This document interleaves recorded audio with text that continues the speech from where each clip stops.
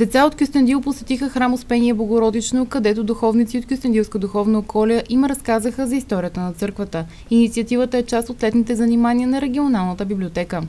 Добре дошли в храм Успение Богородично, древен храм на повече от 220 години, който е покровителстван от Божията майка Света Богородица.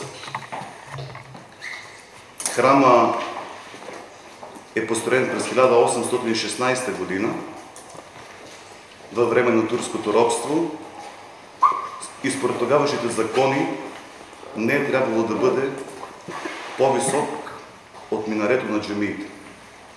Затова храм е вкопан.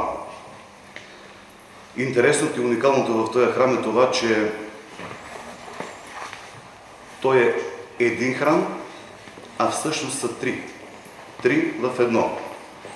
Централният храм Успение Богородично, на втория етаж Свети Никола, който е от 14 век, и когато се влиза от входа в ляво, е параклиса на Свети Харалампи. Децата научиха повече и за днешния ден, когато Православната църква прославя свети великомъченик Пантелеймон и свети седмочисленици. Знаете ли защо се наричат свети седмочисленици? Защото са седем на брой. Това са седмина светци, просветители славянски. Светите братя Кирил и Методи,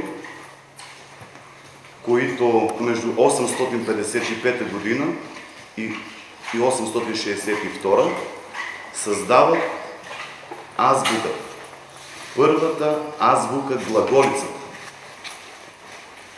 която е създадена за славянските народи, за да може да се преведе свещеното писание, т.е. Библията, и по всички краища на света да се проповядва Словото Божие на достъпен език и да се проповядва Христовата истина.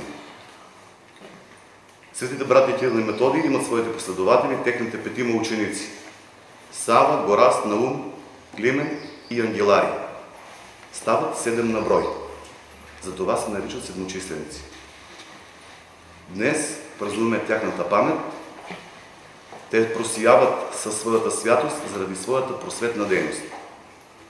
След това свети Климент Охридски опростява глаголицата,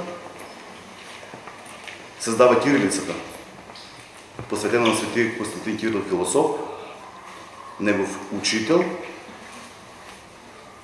И така, до днес да има с какво да, да, да пишем и да общуваме помежду си. Участниците в образователната среща имаха възможността да се запознаят с графичните системи на глаголицата, кирилицата и историята на писмеността, както и да пробват различни методи на писане с пера и печати.